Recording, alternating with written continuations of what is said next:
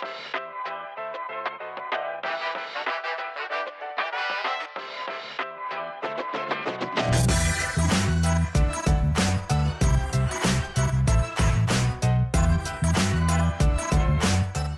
I, think one of the situations you have in an urban setting is uh, has a lot to do with the population base and how dense it is and the traffic and there's always so much going on and you might not have that opportunity to dispose of dispose of that cigarette butt. You know, litter unfortunately in general is a negative and by all means it brings down economic value for, for areas. No one wants to live in a littered area.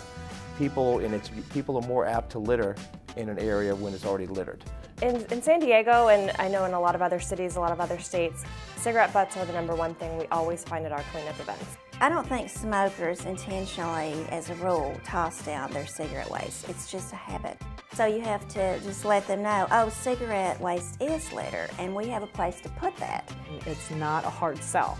Once they understand that this is litter too, the majority of them will change their behavior.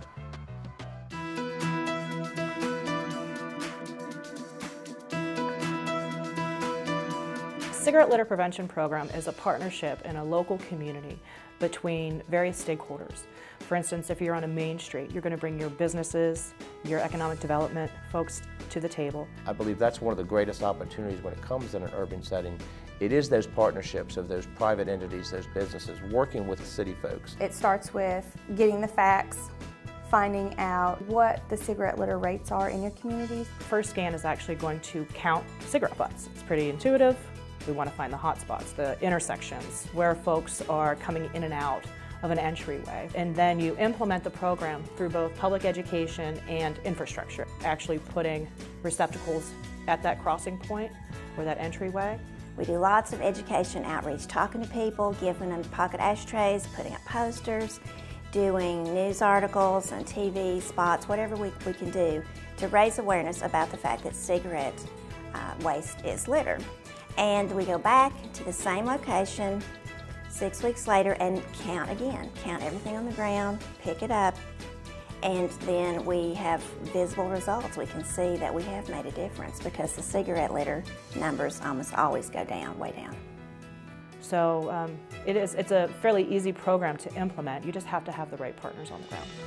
Cigarette litter and litter in general is, is a long-term issue. You know, that's how Keep America Beautiful and Keep Virginia Beautiful were founded.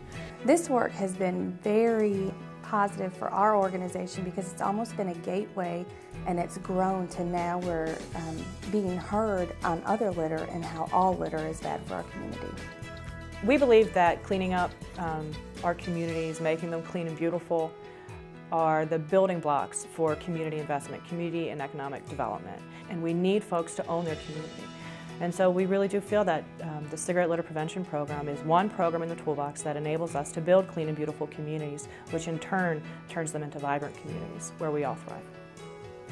You have a chance to make a difference. We're like change agents. We go out there and work with the community to change behaviors and attitudes and, and result in cleaner communities. And I just love doing that. I love working with the people, and I love working with Keep America Beautiful.